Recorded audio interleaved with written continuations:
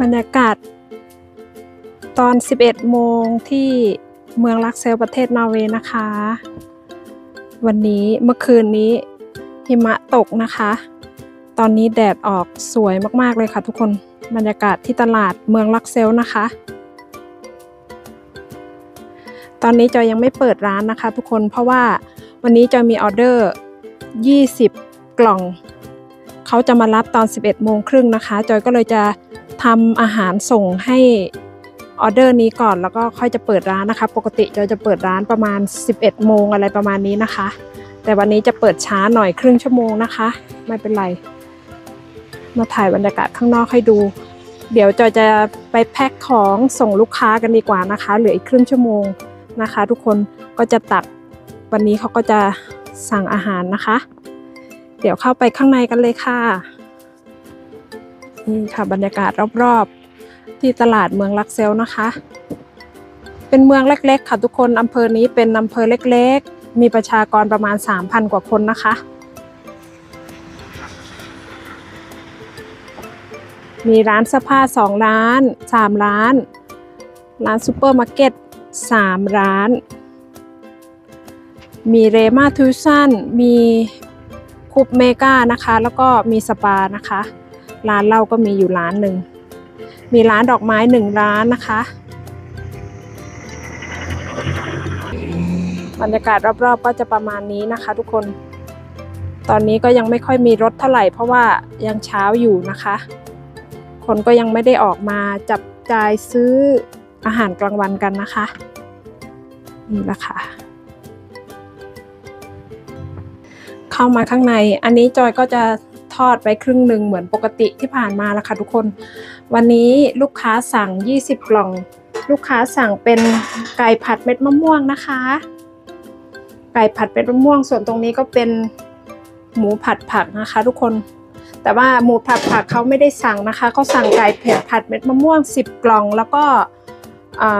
แกงกะทิด้วยนะคะ แกงกะทิ10 กล่องก็เป็น 20 กล่อง เดี๋ยวจอยเดี๋ยวเราไปจัด อาหารกันเลยนะคะ ว่า จะประมาณไหนนะคะ อาหาร 10 กล่องกล่องนี้ จอยก็จะมี 2 ขนาดนะคะ ทุกคน ขนาดนี้ก็จะไก่เผ็ดผัดเม็ดมะม่วงกล่องนี้เป็นกล่องเล็กนะคะ ก็จะราคา 130 โครน ส่วนกล่องใหญ่ก็ราคา 200 โครนนะคะ กล่องใหญ่ 200 โครนเป็นเงินไทยก็ประมาณ เอ่อ600กว่าบาทค่ะทุกคน600กว่าบาทเนาะค่าแรงสูงก็จริง อาหารสูงก็จริง แต่ค่าครองชีพค่าภาษีก็เยอะนะคะ ทุกคนส่วนอันนี้ก็ 130 โครน ก็เงินไทยก็ประมาณ 400 กว่าบาทค่ะทุกคนเนาะถ้าถ้าเราคิดเป็นเงินไทยมันก็ราคาสูงค่ะทุกคนแต่ราคาประมาณนี้คือแบบจอยให้อาหารจุกๆ แล้วก็ราคานี้ก็เป็นราคาแบบ ปกตินะคะ ทุกคนก็ไม่ได้แบบสูงมากนะคะ เดี๋ยวเราไปเริ่มตักอาหารกันเลยนะคะ สวัสดีค่ะทุกคน ยินดีต้อนรับเข้าสู่ช่องสไปนอร์เวย์บายจอยแฟมิลี่นะคะ วันนี้อย่างที่บอกนะคะ จอยจะมามีลูกค้าสั่งอาหาร 20 กล่องนะคะสำหรับอาหารกลางวันนะคะ เขาสั่งไก่ผัดเม็ดมะม่วงกับ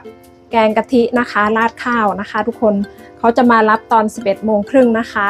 ตอนนี้จอยก็กำลังเตรียมนี่มีกล่องนะคะ กล่องนี้ก็จะเป็นกล่องอาหารกลางวันนะคะสำหรับที่จะเสิร์ฟเนาะอาหารก็ได้ถ่ายให้ดูแล้วนะคะ บรรยากาศวันนี้ ฝนตกปล่อยๆ ฝนตกแล้วก็หิมะตกนะคะ ทุกคน หิมะก็เต็มถนน เต็มท้องถนนเต็มทางเดินเลยค่ะ ทุกคน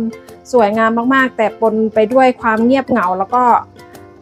ความเหน็ดหนาวนะคะ ทุกคนนั่นแหละก็ขอให้ทุกท่านแฟนคลับหลาย ๆ คนที่อยู่เมืองยุโรปเมืองหิมะก็ดูแลสุขภาพด้วยนะคะ ส่วนที่เมืองไทยก็ช่วงนี้อากาศน่าจะเริ่มมีลมหนาวเข้ามาแล้วนะคะ ก็ขอให้ทุกคนรักษาสุขภาพนะคะจอยก็คิดถึงทุกคนมากๆ คลิปก็ทำบ้างไม่ทำบ้างอย่างที่บอกนะคะ นั่นแหละ แต่วันนี้ก็จะมาาเดี๋ยวเราไปตักอาหารกันเลยนะคะ ว่าจะออกมาน่าทานไหมนะคะ ก็ไปคอยเอเป็นกำลังใจขอบคุณที่กดไลค์กดแชร์ให้กันนะคะ ไปค่ะทุกคนไปตักอาหารกันเลยค่ะทุกคน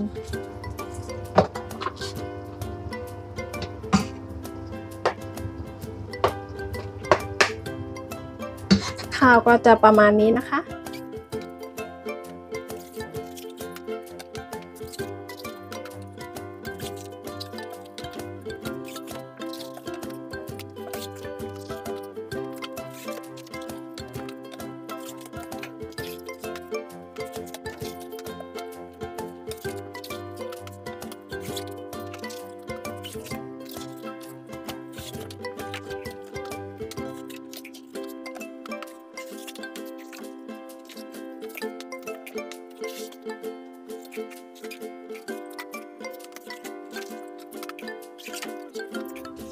นี่ค่ะ ได้ข้าวแล้วนะคะ 19 กล่อง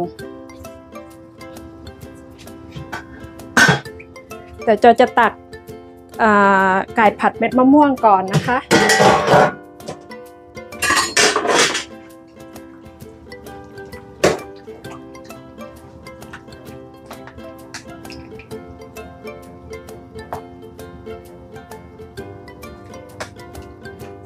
นี่นะคะก็จะได้ประมาณนี้นะคะ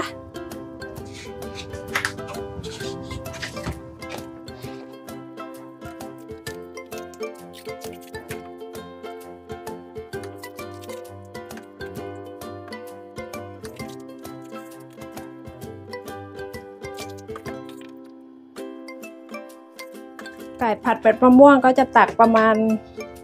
10 กล่องถึง 12 กล่อง เหลือนั้นก็จะเป็นแกงกะทินะคะ อาหารเดี๋ยวเขาจะมารับเองนะคะ จอยไม่ได้ไปส่ง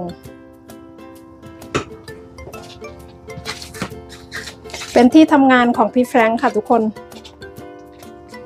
ที่เขามาสั่งอาหารเนาะแต่วันนี้พี่แฟรงค์หยุด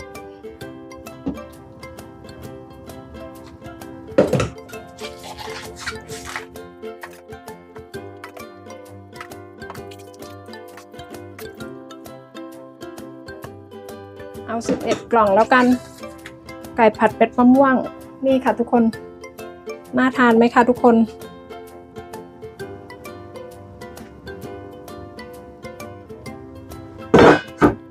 ส่วนที่เหลือก็จะเป็นแกงกะทินะคะ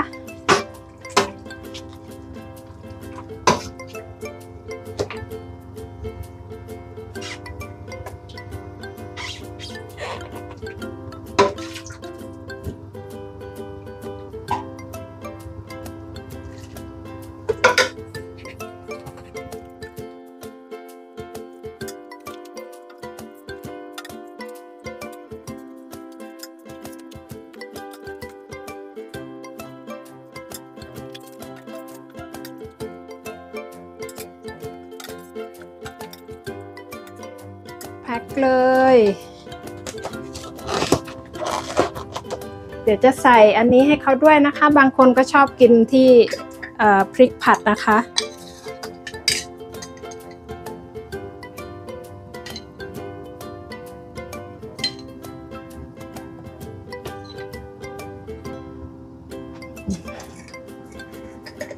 ใส่ให้สักสี่กล่องก็พอค่ะ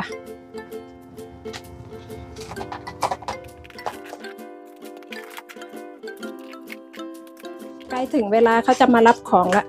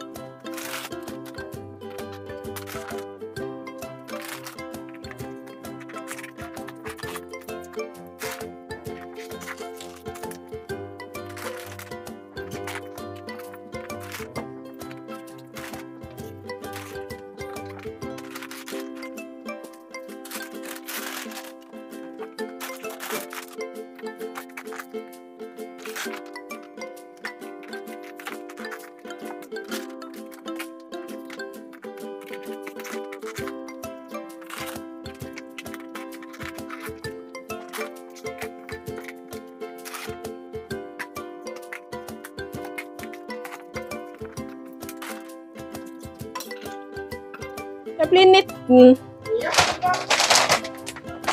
Ska hjälpa dig? Ja. ja. Ja. Nej, det går bra. På den sida.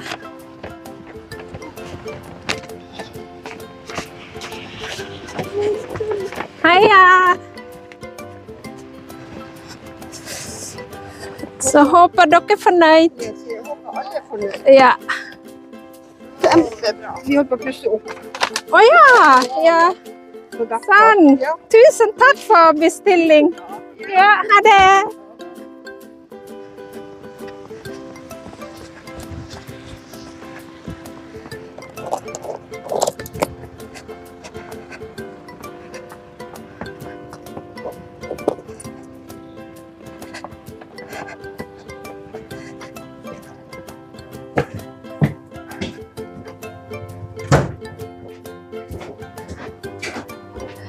ส่งอาหาร